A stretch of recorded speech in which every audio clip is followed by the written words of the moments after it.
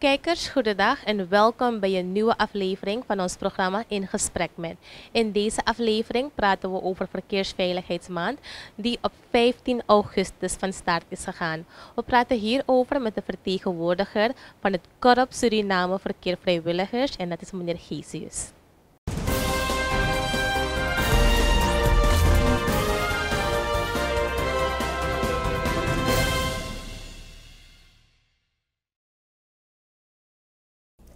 Meneer Gesius, welkom in ons programma In Gesprek met. We praten vandaag over de twaalfde editie van de Verkeersveiligheidsmaand. Dat is begonnen op 15 augustus en doorgaat tot en met 15 september. Dat klopt. Wat zijn de belangrijkste doelen van Verkeersveiligheidsmaand dit jaar? Dank u wel, mevrouw Magnak, voor deze gelegenheid. Nou, we hebben als thema meegekregen, want het is, uh, het is geproclameerd, gelanceerd door de minister van Justitie en Politie, minister uh, Kenneth Amo uh, Amoxie. En het thema is verkeersveiligheid begint bij mij. Mm -hmm. Ja, en eigenlijk staat dat in lijn met voorgaande thema's die we hebben gezien bij uh, de, verkeers, de verschillende verkeersveiligheidsmaanden, daar is de nadruk steeds meer gelegd op um, wat mensen zelf kunnen doen, moeten doen.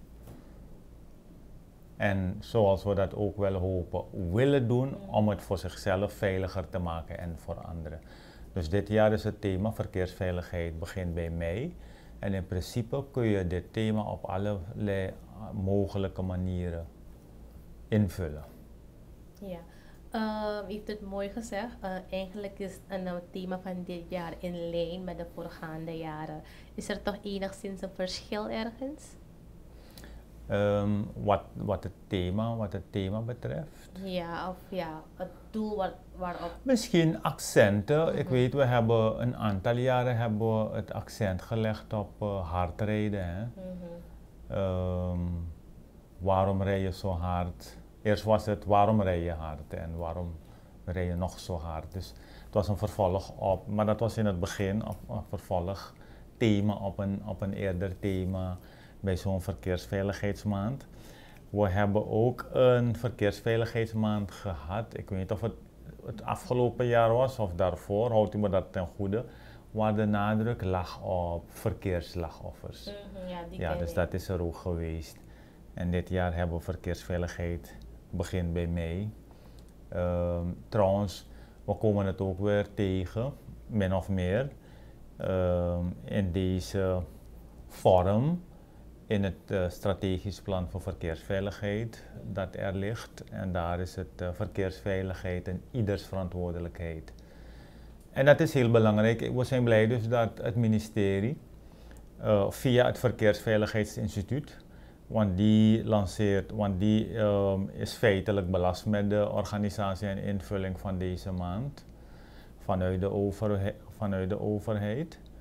We zijn blij dus met die insteek, omdat we denken dat um, wat wij hebben gezien als organisatie, Korps Suriname Verkeersvrijwilligers, KSV, dat het heel belangrijk is dat we leren om zelf ook zoveel mogelijk invulling te geven aan verkeersveiligheid. En dat doen we door uh, in eerste instantie uh, te beseffen -hmm. waarom we de weg opgaan. Toch? En te beseffen dat wanneer we de weg opgaan, dat we dat samen gaan doen met anderen. We gaan anderen tegenkomen. Zo, sowieso. Ook al is het één persoon, één deelnemer, we gaan een andere tegenkomen.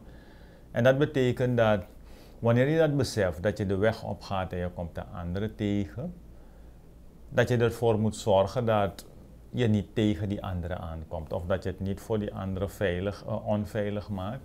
Maar dat verwacht je zelf ook. Wanneer je van huis gaat, verwacht je ook dat anderen zich aan de regels houden, zodat ze ook jouw eigen leven kunnen besparen en kunnen beschermen. Inderdaad. En we hebben nu ja, nu staan we stil bij de twaalfde editie van de Verkeersveiligheidsmaand. En dan vanaf het begin in 2012 hebben we geroepen op veilig verkeer en dat mensen bewust zijn over hun gedrag in het verkeer. Uh, als u dus kijkt, twaalf jaar later, uh, wat zou u zeggen over het gedrag van Surinamers in het verkeer? Dus laat me zeggen, de, de, de verbeterpunten zijn, veranderen niet. Hmm. De verbeterpunten veranderen niet. De cijfers, daar kunnen we over zeggen dat we in de afgelopen jaren hebben gezien dus dat de cijfers wat kalmer um, worden. Dus dat bedoelen we een beetje ten opzichte van het jaar daarvoor. Maar we hebben ook weer een stijging gezien van het aantal verkeersdoden bijvoorbeeld. Maar als je nu, per vandaag zitten we op, laten we zeggen we zijn vandaag 26 augustus dacht ik. En als je dat vergelijkt met de voorgaande jaren, dan zie je dus dat we wat het aantal verkeersdoden betreft wat lager uitvallen. Kun je zeggen, is dat goed? In absolute zin wel, want dood is dood toch? Eén dode, één dode erbij is één dode erbij. Maar als je hem dus relatief gaat bekijken, dan zeg je oké, ehm, eh, dat stemt ons goed, toch? Want het zijn minder doden de, per diezelfde periode in de, uh, vergeleken met de afgelopen jaren. Maar we zien dat de verbeterpunten al zodanig niet wijzigen. Het is zo dat we, kijk, we moeten beseffen dat wanneer je de weg opgaat of deelnemen aan het verkeer, is een complexe aangelegenheid. En wat maakt het complex? Eén, um, jouw eigen gedrag, jouw eigen temperament, jouw eigen karakter heeft invloed op de wijze waarop je gaat deelnemen aan het verkeer. Mm If you nou als ma die altijd wil je laten gelden, smamshi, iemand doe je aan vrij, mm dan ga je ook zo willen gedragen in het verkeer. Ja, ja dus um, ongeduldig zijn, anderen de pas willen afsnijden, toch? Um, voorrang afdwingen. Dus dat soort, dat soort gedragingen ga je krijgen, omdat het in is met jouw karakter, toch? Met jouw temperament. We moeten dat beseffen. Jouw karakter speelt een rol. Een ander ding is dus dat wanneer je de weg opgaat, dat je gehouden bent aan verkeersregels. Ja, die regels zijn voorgeschreven en als we volgens de regels deelnemen aan het verkeer, dan komt het goed. Dus ook op dat stuk zien we dat er nog altijd verbeteringen um, mogelijk zijn.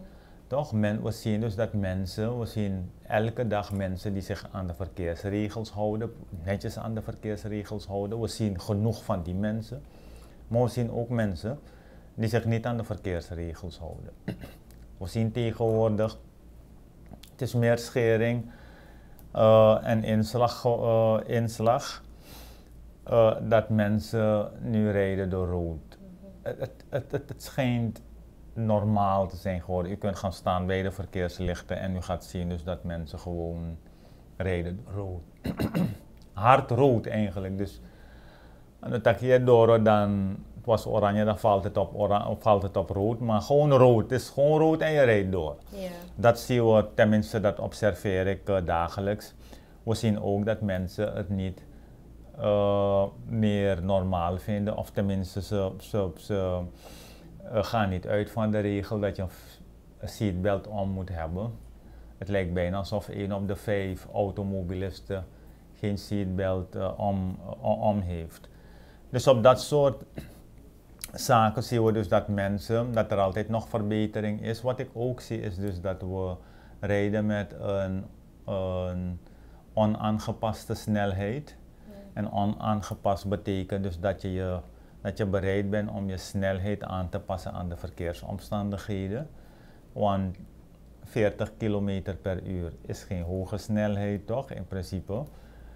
Maar 40 kilometer per uur rijden kan nog net misschien te veel zijn, te hard zijn voor die omstandigheid waarin je uh, verkeert. Zeg maar als je de centrale markt moet passeren of andere markten of langs een school moet gaan, dan weten we dus dat daar max 30 is. Dus dat soort, op dat soort vlakken zien we dus dat, kijk je naar de afgelopen jaren, dat die verbeteringen altijd nog mogelijk zijn. Maar wat we ook zien, mevrouw Maknak, is dat in de afgelopen 12 jaar onze observatie, en wij kunnen dat zeggen omdat we al die jaren erbij zijn geweest, mhm. kunnen we zeggen er zijn meer spelers actief bezig, meer spelers betrokken bij verkeersveiligheid. Bedrijven, organisaties, stichtingen. Veel meer mensen zijn bezig met verkeersveiligheid naast de overheid en dat doet ons goed. Dat is een hele mooie opmerking, want dan is mijn volgende vraag. Ondanks dat meer een, um, bedrijven, organisaties betrokken raken bij eigenlijk het roepen om veilig verkeer, um, is het hier en ten dagen toch niet wat het wezen moet. Nee, we zijn nog niet daar waar we moeten zijn, want we moeten, we moeten belangrijke targets halen. En die targets zijn niet door Suriname gesteld. Suriname heeft ook zijn targets natuurlijk. Maar Suriname heeft een uh, verklaring getekend en dat is overgenomen door de Verenigde Naties bij resolutie. En dat betekent dat we uh, in de komende jaren tot 2030, want er was een decennium van actie voor verkeersveiligheid, is verruimd. Want ze hebben gezien in plaats van dat de doden minder worden, worden die doden meer. Mm -hmm. Dus ze hebben gezegd van hey, uh, we moeten nog harder de hand aan de ploeg slaan om rokomorren te rangen. Dus wil zeggen, dan gaan we dat decennium verlengen naar 2030. Met dezelfde doelstellingen. 50% uh, reductie van het aantal verkeersdoden en verkeersgewonden. Ik weet niet meer wat het uitgangsjaar is, maar als we uitgaan van het eerste decennium voor Suriname, betekent het dat we de 45, dus vaak de zou er eigenlijk geen ziel bij moeten komen, om het even zo te zeggen. Ook wat betreft het aantal uh, verkeersslachtoffers zien we dus dat uh, het in Suriname de goede kant lijkt op te gaan, maar we zijn nog lang niet waar we moeten zijn. Dus met die toegenomen aandacht is dat goed.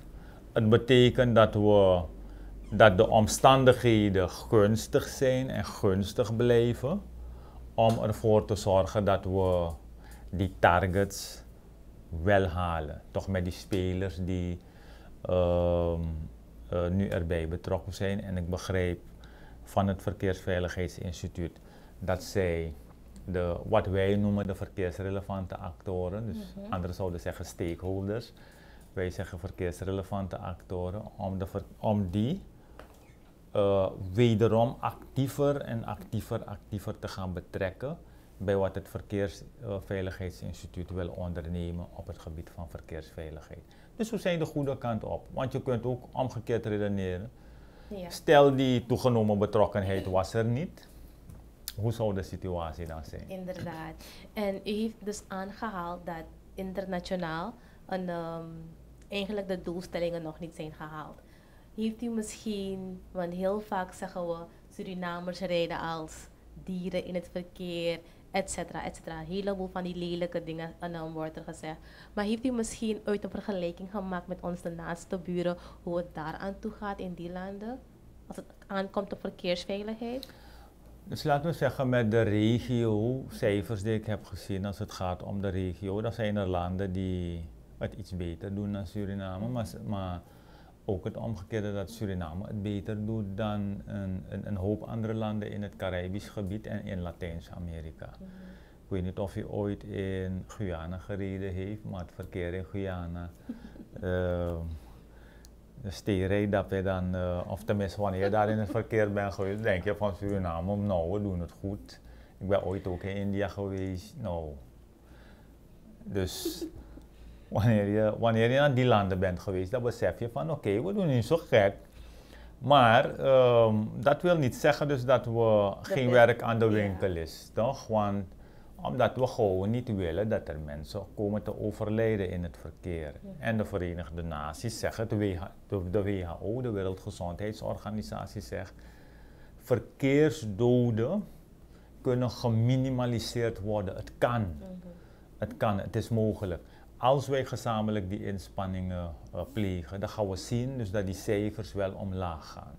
Want we moeten ook beseffen, zegt de Wereldgezondheidsorganisatie, verkeersongevallen um, of slachtoffers leggen dan een onevenredig grote druk op onze zorgstelsel, ja.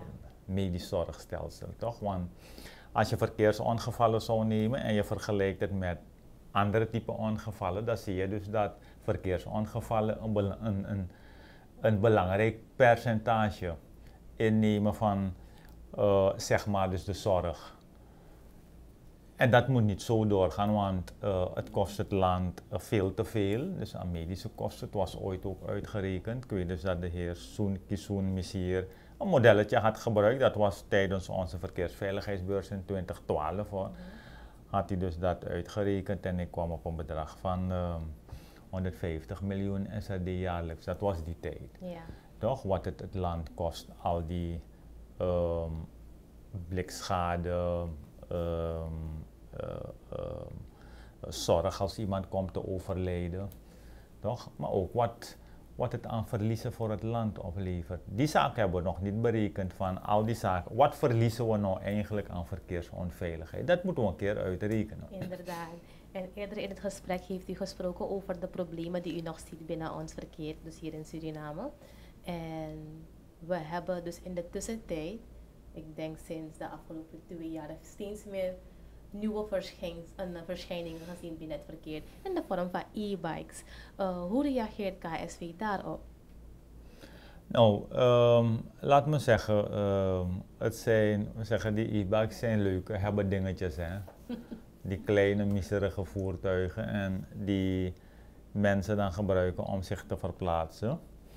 Kijk, de hele tijd was het zo dat we vaker fietsers zagen in het verkeer. Hè? Mm -hmm. En de opmerking werd vaak genoeg gemaakt, maar, ja, maar waarom gaan steeds minder mensen fietsen? Er zijn, er zijn, er zijn organisaties die het fietsen promoten, yes. toch? De zondag, zondag, uh, bike, uh, zondag uh, morgen bikers, die, die, die, die heb je ook. En nog, en nog twee andere verenigingen, weet ik, die ook wel wat projecten hebben gedaan met KSV het fietsen werd gestimuleerd. We zien dus dat het minder wordt. Want wat was het argument? Het verkeer is gevaarlijk. Mm -hmm. Maar nu zien we dat mensen die kleine voertuigjes, die e-bikes nemen om zich in het verkeer te, te, verplaatsen. Dus waarschijnlijk lag het dan niet aan het onveilig verkeer of dat het gevaarlijk was, maar dat mensen niet bereid waren te trappen, te fietsen. Mm -hmm. Toch? Dus daar, daar lijkt het om te gaan. Want nu zien we dus veel meer mensen e-bike pakken en uh, zich verplaatsen uh, op de openbare weg. Eigenlijk um, vind ik hoor dat je een stuk kwetsbaarder bent, want het ding is zo klein. Mm -hmm. En ik vind dat, dat die mensen vrij um, ongemakkelijk zitten. Dus tenminste zo zie ik het. Want je, bent een, je lijkt een stuk groter dan dat voertuig. Of fiets is nog zeg maar iets groter, hè, vind ik. Um, anderen zeggen van ja, de geruisloosheid van dat voertuig, van die e-bike, is een factor ook. Maar ik heb zoiets, fietsers hoor je ook niet echt aankomen. Ja. Um, waar ligt het dan in dat van de e-bike? Als we teruggaan naar dat thema van de verkeersveiligheidsmaand, verkeersveiligheid begint bij mij. En wanneer ik die mensen zo zie op een e-bike, dan vraag ik me af, wat weerhoudt, jij, wat weerhoudt jou ervan om ervoor te zorgen dat je je een stuk veiliger kan verplaatsen? En met name voor wat bescherming kan zoeken, zeker van je hoofd. Niet eens die koba zetten die mensen op hun hoofd of zetten ze vast op hun hoofd. Niet eens dat, mm. toch? Libi van integrale helm. Maar, maar, maar, niet eens die koba zetten ze op hun hoofd. Zo vrij. Want ze denken die snelheid valt toch mee. Mm maar ze verplaatsen zich met een behoorlijke snelheid. En je moet niet vergeten, uh, je moet niet alleen kijken naar de snelheid waarmee jij je verplaatst. Je moet ook kijken naar uh, de snelheid waarmee een ander zich in, naar jou toe verplaatst, in jouw richting verplaatst. Toch? En als je die beide snelheden optelt, dan levert het wat op. En dat wat het oplevert is schadelijk voor bijvoorbeeld alles boven, alles boven de schouder uh, vooral. Ja? ja. Dus we willen bij deze de mensen ook vragen om zorg voor een stukje veiligheid. We hebben gezien dat het Verkeersveiligheidsinstituut Vesten cadeau heeft gehad uh, van uh, GoTo, heel mooi project. En die zijn verstrekt aan het Korps Politie Suriname en de brandweer en nog wat andere organisaties en diensten die gebruik maken van bromfietsers. Heel mooi project. Ik wil dus de e-bikers ook vooral oproepen om zo'n vestje aan te schaffen, waardoor ze zichtbaarder worden. En zichtbaarder zijn. Ook al is het overdag. schaf dat ding aan en zet ook een helm op je hoofd. Vast. Ja, want uh, ik kan me nog heugen dat de minister van, van Juspel een paar keer in DNA gezegd heeft dat ze toch wel een helm moeten aantrekken. En er was ook een hele discussie gaande over dus jongeren, kleine kinderen, die dus op die e-bikes rondgaan. Uh, mensen zeggen het is gewoon een fiets en jongeren kunnen gewoon rijden ook gewoon een fiets. Dus vindt u dat problematisch dat jonge kinderen soms beneden de tien zelf al op een e-bike en, uh, in het verkeer, aan het verkeer deelnemen?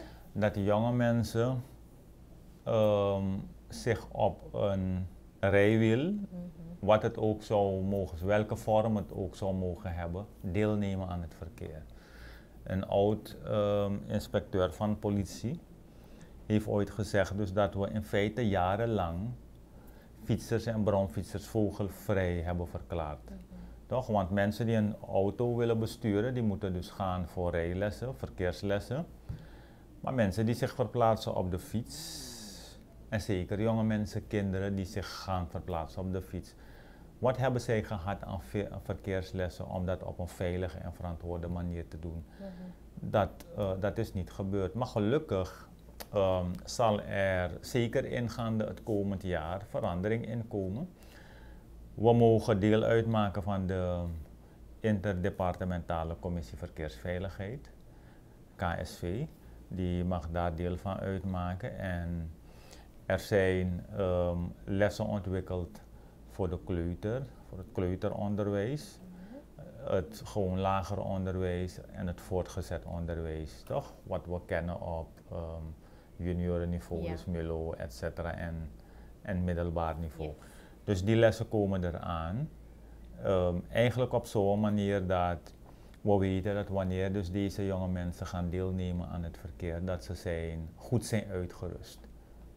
Oké, en behalve deze educatieve, een, um, ja, laat maar zeggen, programma dat volgend jaar komt, zijn er binnen de verkeersveiligheidsmaand andere educatieve programma's die uitgezet zullen worden om de bewustwording verder op gang te brengen? Um, daar kan ik vanuit KSV praten. Dus wij hebben, wij hebben in de afgelopen maand um, wat activiteiten ontplooid. Zo hebben we um, wat verkeerslessen gedraaid voor uh, Kids. Mm -hmm. Dat zijn kinderen in de omgeving van uh, Dijkveld. Oh. Ja, daar hebben wij uh, wat lessen aan die groep mogen verzorgen. Dus op een heel kindvriendelijke manier hebben ze de basics van verkeersveiligheid uh, gehad. We hebben ook nog een presentatie gehad, verkeersveiligheid, wat is uw bijdrage? Hebben we samen met het Verkeersveiligheidsinstituut gegeven aan verpleegkundigen van het Sint-Vincentius ziekenhuis, maar ook aan de Hartvereniging Suriname. Ja, dus dat is wat we in de afgelopen periode gedaan hebben. Um, ik spreek even verder hoor, van wat we gedaan hebben. We hebben bijvoorbeeld ook op touw, of nu zijn we bezig met um, trainingen, dus online trainingen die we hebben gegeven aan leerkrachten van uh, het VO-onderwijs. En dat in het kader van een brigadiersproject. U kent de verkeersbrigadiertjes ja. van de lagere school, maar um, wij doen een uitbreiding naar voortgezet onderwijs, dus oh. MILO, LTS. Dus, en die brigadiers heten verkeersbrigadiers voor verkeersveiligheid. We hebben gepilot met de Vrouwenschool mm -hmm. het afgelopen jaar. En we rollen hem nu uit naar um, uh, iets meer dan um, bijna uh, circa 28 scholen. Ja, in zeker vijf districten rollen we het uit. En we hebben aan dus de leerkrachten die um, zullen worden uitgerust om die leerlingen te trainen van die scholen, hebben we alvast een online sessie gedaan um, van, uh, over het brigadierswerk. Wat we ook hebben gedaan uh, in, uh, recentelijk is dat we, we zijn bezig met een verkeersinfomercial mm -hmm. waarbij we de rijwet willen belichten en dat doen we met 15 hele gemotiveerde en flinke studenten van de faculteit der juridische wetenschappen, dus de rechtenstudenten. Ja. Ja, dus we zijn al bezig geweest met uh, de eerste aflevering van deze infomercial. Ook zijn we bezig met een ander verkeersinfomercial waarbij we een aantal uh, straten gaan belichten. En dat doen we ook met ondersteuning van uh, het Verkeers, Verkeersveiligheidsinstituut, met ondersteuning van de Wegenautoriteit Suriname, het Korpspolitie Suriname en ook um, het bedrijf Jetskis. Dus samen zijn we bezig om um, deze verkeersinfomercial um, van voldoende informatie te voorzien, dat de mensen weten hoe ze, wanneer ze gebruik maken van een bepaalde straat, dat ze weten waarmee ze rekening moeten houden. Want de ene straat is de andere straat niet. Ja? Dus dat zijn zo een beetje de activiteiten die we hebben die we hebben en die we dus nog steeds aan het uitrollen zijn in deze maand. Ik denk dus dat we ook in Nikeri zullen zijn voor een presentatie. Zeker op het vlak van uh, dat van uh, verkeersslachtoffers. Mm -hmm. We hebben bij de, hoe heet die poli, heeft een moeilijke naam, neurochirurgie van het academisch ziekenhuis, hebben we ook wat flyers gezet. Zeker voor mensen die uh, letsel hebben uh, overgehouden aan een verkeersongeval. Als die mensen behoefte hebben om contact met ons op te nemen, dat die mensen dat kunnen doen. Toch? We hebben dus daartoe dan flyers uh, gelaten op de poli van het academisch ziekenhuis. Ja, u heeft een heleboel belangrijke dingen aangehaald, maar ik wil even terugkomen op het brigadiersproject. Wil dat zeggen dat in het komend schooljaar, dus dat in oktober van start gaat, we ook dus kinderen van VOJ uh, met, dus met bordjes over straat zullen zien? Hoe zal dat aan toe gaan? Ja, ja. Dus op dezelfde manier zoals we dat zien met die GLO-leerlingen, mm -hmm. zullen we dan uh, uh, ook brigadiers zien bij een, een, een aantal um, VO-scholen. Um, het verschil met de GLO zal zijn dus dat zij in een oranjekleurig vest zullen oh. zijn. Mm -hmm. en, want GLO is in een geel, geel-groene, geel vest. Um, dat is een project dat de politie zelf uh, uitvoert met ondersteuning van de SOL. En wij voeren dus dit project uit met ondersteuning van Total Energies. Uh, dus dat zullen ze zien. Maar ze zullen ook nog zien dat die studenten staan, of dat die leerlingen staan, die B, we noemen ze BVV-leerlingen, staan mhm. met een campagnebord. Ik noem het voor het gemak een campagnebord. Het is in elk geval een wit bord, 50 mm -hmm. bij 50 met een tekst in het rood. En wat is die tekst? Die tekst is een uh, verkeersveiligheidsboodschap. Oh. En die boodschap, die hebben de leerlingen van de school zelf bedacht. Niet die, niet die brigadiertjes speciaal, dus oh, de leerlingen yeah. van de school. Alle leerlingen van de school hebben de gelegenheid om een boodschap te bedenken. Dus geen lange boodschap, korte boodschap voor de weggebruikers die bij de school passeren. En de, de tip die we meegeven is dat ze de boodschap zodanig formuleren of een zodanige boodschap kiezen dat die past bij de situatie. Mm -hmm. Toch? Laten we zeggen, ik geef, ik geef een gek voorbeeld. Als het zo is dus dat veel bronfietsers, relatief veel bronfietsers daar passeren, dus mm -hmm. minder auto's, maar veel meer bronfietsers, ik zeg het even voor het gemak, dat je dan boodschappen formuleert die gericht zijn echt gericht zijn op die, dus op die groep. Ja. En heeft ook aangehaald dat uh, het project in vijf districten tot nu toe is gedraaid. Ja. Welke vijf districten zijn dat? Dus de vijf districten komen aan bod, want we, zijn, want we gaan ermee van start uh -huh. oktober. Dat zijn Paramaribo, Parawanika, Komowene, Saramaka, Coroni en Nikeri. Zijn het er, Zie, heb ik goed geteld? Nou, zeven, no? dat, zijn, zijn het er zeven districten. zeven okay. districten. Is er ook een plan om dus verder te gaan bijvoorbeeld naar Brokoponde en Sipaluini? Het, uh, dus je kunt hem niet uitrollen naar alle scholen, want uh, niet alle wegen lenen zich ja. voor deze activiteit. Dus de scholen die zijn geselecteerd zijn de scholen langs wegen waarvan we denken dat dit van het brigadierswerk een voorziening is van de school. Het is een voorziening die de school kan inzetten om uh, voetgangers in de gelegenheid te stellen veilig de weg over te steken. Althans, als ze dat doen, zeg maar 15 minuten voordat de school begint of dat de bel gaat, mm -hmm. en 15 minuten nadat de bel is gegaan. Oké. Okay. En heeft ook aangehaald, dus dat van verkeersslachtoffers, want heel vaak staan we er niet bij stil. Ik denk een paar jaar geleden, twee jaar geleden of één jaar geleden. En dan binnen Verkeersveiligheidsmaand is er wel dus veel aandacht daaraan besteed aan slachtoffers van uh, verkeersongevallen. Ehm, en dit jaar doen jullie weer dus iets met verkeersslachtoffers. Maar heel veel mensen uh, staan er niet bij stil wat een verkeersongeval allemaal met zich mee kan brengen. Uh, ik wil graag eens dat u de nadruk legt daarop voor de kijkers.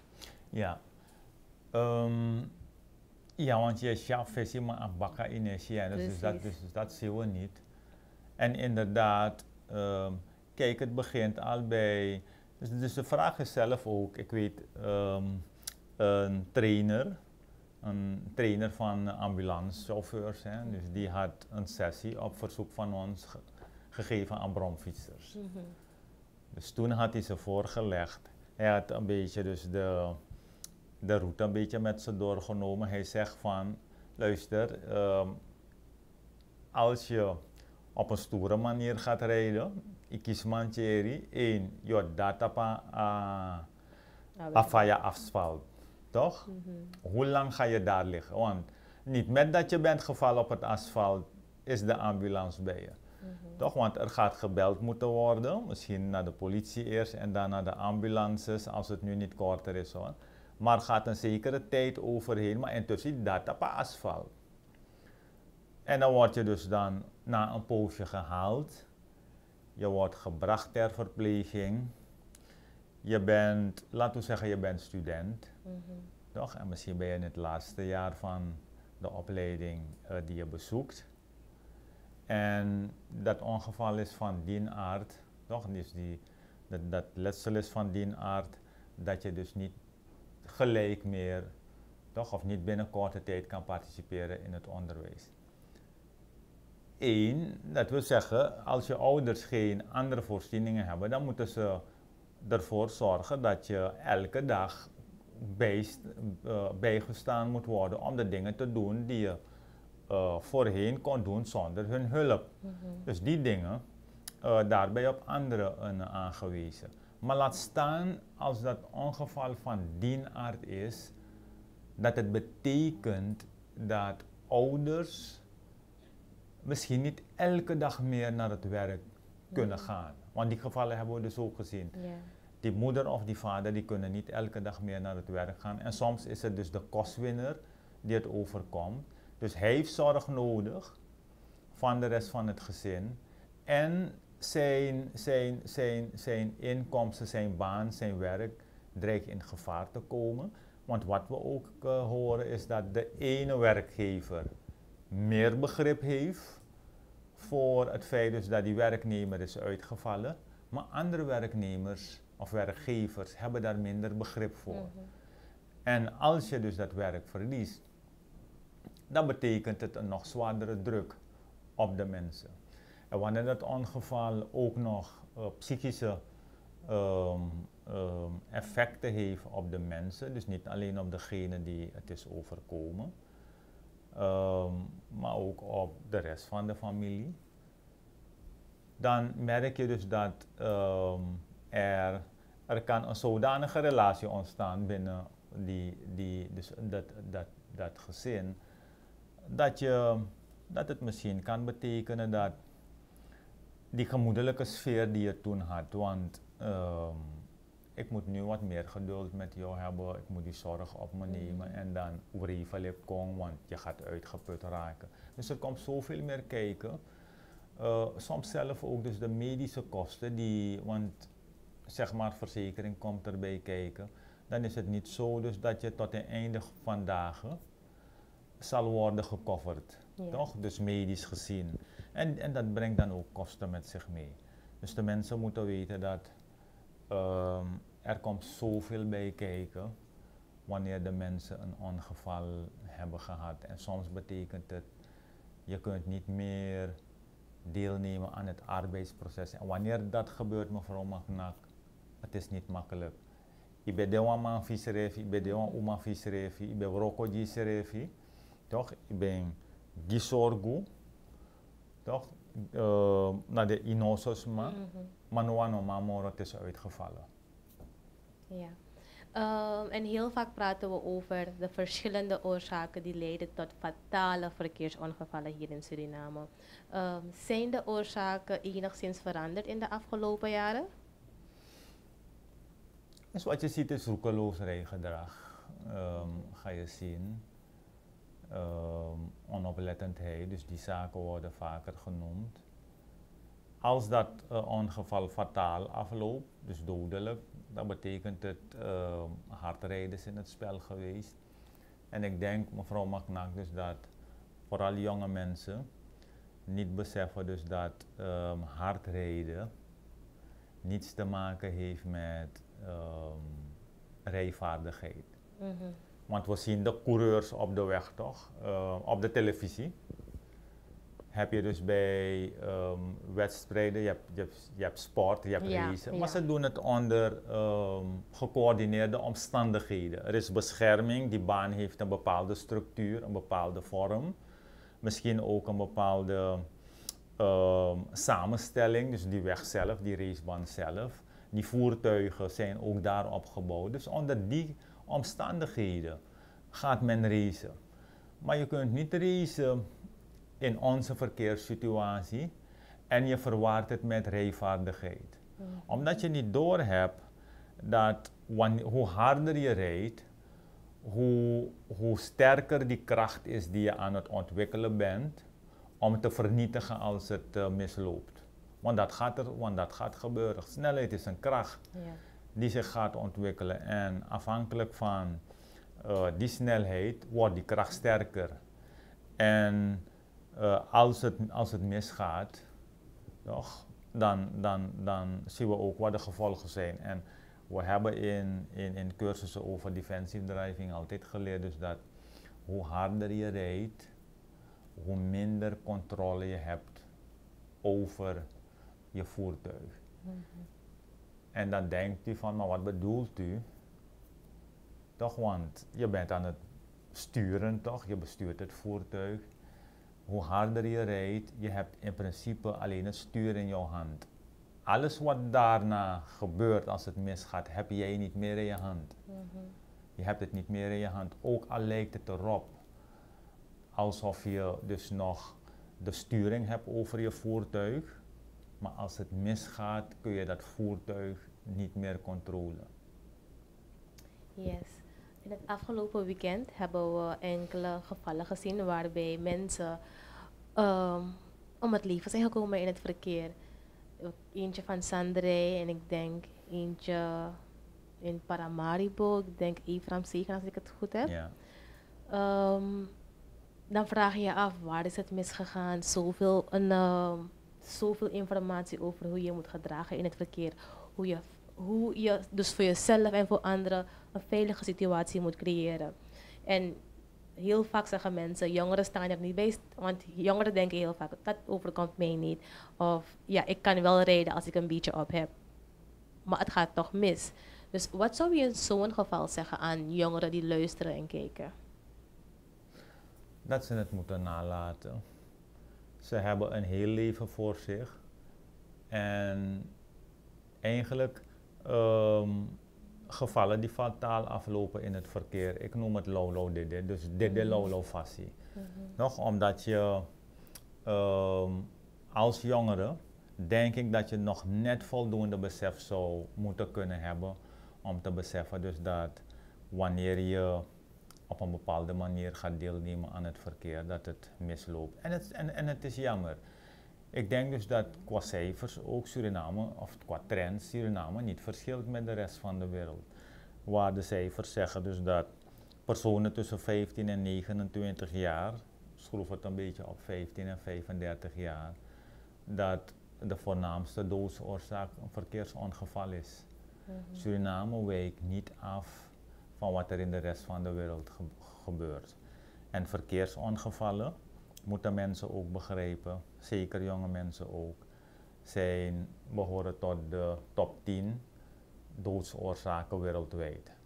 Toch? Al die negen andere doodsoorzaken hebben niets te maken met, uh, ze hebben allemaal te maken met een uh, lichamelijke aandoening, yeah. en hoge bloed. Dus jonge mensen moeten weten, ik vind het jammer wanneer we zien dat uh, jonge mensen dat we jonge mensen verliezen in het verkeer. Toch? Ik, heb, uh, ik heb leerkrachten naar cijfers laten kijken, cijfers die we ontvangen van ehm, De politie. ja, ehm, ja, AZP over Oh. verkeersslachtoffers. En dan zie je die groep 15-35 jaar is een relatief grote groep wanneer je Mhm. kijkt naar de rest. Dat betekent dus dat eh, als het is 15, 35 jaar en dat betekent dat wanneer je een zoontje hebt van 10 jaar, dat wanneer we het niet over een andere boeg gooien, dat je zoontje 20 jaar lang tot die risicogroep behoort. Toch? Als we dat niet gaan Ja. ehm, eh, veranderen. Dus jonge mensen moeten één weten, hou van je leven. Ehm, volg eerst de verkeerslessen. Volg eerst verkeerslessen voordat je gaat deelnemen aan het verkeer. En ik hoop, mevrouw Magnak, dat we zo ver kunnen gaan dat we wat ons betreft ehm, ook nog moeten kunnen gaan verbieden dat jonge mensen deelnemen aan het verkeer zonder behoorlijke verkeerslessen. Mhm. Het gaat niet prettig zijn, maar dan fietsen we op het erf. Ja, dan fietsen we op het erf. Natuurlijk, de maatschappelijke eh, situatie is van die aard dat we zien dus dat jonge kinderen, kinderen naar de winkel gaan. Dus zelf naar de winkel gaan. Hoe verander je dat? Natuurlijk, je kunt niet een wet ehm, afvaardigen, eh, uitvaardigen die zegt van kinderen mogen dus niet meer over straat bij wijze van spreken. Ehm, je kan het dus niet los doen dus van, zonder te kijken naar hoe de situatie breed is. Wat kunnen we daaraan doen? Gezamenlijk buurtorganisaties, oudercommissies, scholen. Hoe kunnen we ervoor zorgen dat wanneer we weten dat er huiselijke situaties zijn waarbij ehm, moeders of ouders er echt niet onderuit kunnen om een jong kind te sturen naar een winkel. Wat moet er in die gevallen gebeuren? Ik denk dat we erover moeten praten, want ik kan mooi praten hebben door te zeggen van dat moet niet meer gebeuren. Mhm. Maar zo lossen we het niet op. We moeten de situatie breed bekijken en zien hoe we ervoor kunnen zorgen dat we onze kinderen dan gaan educeren. Want wanneer we dat doen, toch? Wanneer we dat doen, want eh, ik zie jonge kinderen ook lopen in het verkeer. En ik zie soms doen ze het eh, niet goed, maar ik zie ook kinderen die het goed doen, of Mhm. veilig doen. Dan zeg ik oké, wanneer we die informatie dan structureler brengen, dat we mogen verwachten dat die kinderen dat gaan ehm, ehm, meenemen in hun gedrag. Of meenemen wanneer ze van mama of papa naar de winkel gaan. Ja, en u heeft een hele mooie boodschap gegeven aan ja, de, de gemeenschap, de jongeren, maar ook aan de ouders sowieso. Zou u nog aan het eind iets willen zeggen aan de overheid of iets dat KS, KSV zelf wilt gaan doen in de toekomst als het aankomt op verkeersveiligheid? Ja, ehm, dat is dat oude liedje van verkeershandhaving. Eh, wij zien graag dus dat dat ehm, wat structureler wordt aangepakt, wat effectiever. We hebben een project nog bij, niet wij hoor, dus KSV. KSV had geparticipeerd in een commissie, maar ik hoop, ik blijf erover praten omdat ik hoop dat het ministerie het toch wel wil gaan uitvoeren. Dat was een project over verkeershandhaving waarbij eh, ambtenaren en niet-ambtenaren zouden worden opgeleid, getraind om het verkeer te helpen re- reguleren. Toch? En dat kan dan op, op, eh, op punten waar het relatief eh, drukker is, zeg maar bij kruispunten of op sommige wegdelen, waardoor de politie dan enigszins kan worden ontlast om zich bezig te houden met ehm, ehm, die taken, die werkzaamheden, waarmee zij ehm, zeg maar eh, andere belangrijke zaken ook kan, kan, kan bereiken. Dus we zien graag dat dat van verkeershandhaving dus nog voldoende eh, aandacht krijgt. En we hopen ook dat het ministerie eh, van Onderwijs dat project van eh, eh, zowel dus de brigadiertjes, maar ook dat van verkeerseducatie, dat vanuit het ministerie van Onderwijs, dat die ondersteuning verder gaat, want die ondersteuning is er, en dat die ondersteuning eh, kan blijven en kan, verder kan worden uitgebouwd. Want ik zeg u, het zal een hele grote, waardevolle bijdrage zijn dat we structurele ehm, verkeerseducatie krijgen binnen het uh, formeel onderwijs. En aan alle mensen wil ik oproepen om in deze periode van de Verkeersveiligheidsmaand, die 15 september eindigt, mm -hmm. doe iets. Wees nou een, wees nou een praatje, al, al, is het maar een praatje dat je wil uh, houden in jouw buurt. Doe dat met een paar kinderen of doe dat in jullie bedrijf van hé, hey, we zijn in de verkeersveiligheidsmaand. Laten we ervoor zorgen dat we uh, extra veilig zijn in deze maand. En laten we dan, wanneer die maand is geëindigd, nagaan van wat heeft het voor me betekend nu ik een, een, een, een hele periode heb stilgestaan bij verkeersveiligheid. Duidelijke boodschap, meneer Geesius. Dank u wel. Graag gedaan.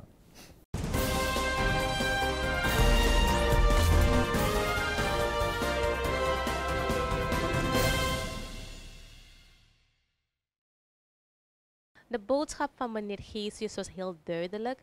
Veilig verkeer begint bij jezelf. We kunnen allemaal een bijdrage leveren aan het veiliger maken van ons verkeer hier in Suriname. Neemt u de boodschap zeker mee en dan zie ik u de volgende keer weer in een nieuwe aflevering van In Gesprek met.